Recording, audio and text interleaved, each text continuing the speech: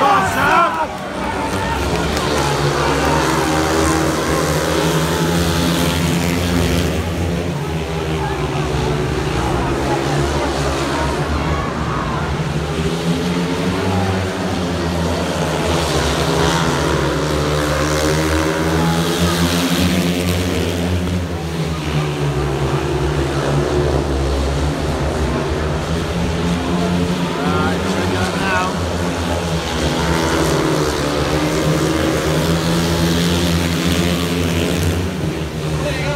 Thomas got by back at 8.15, but it's too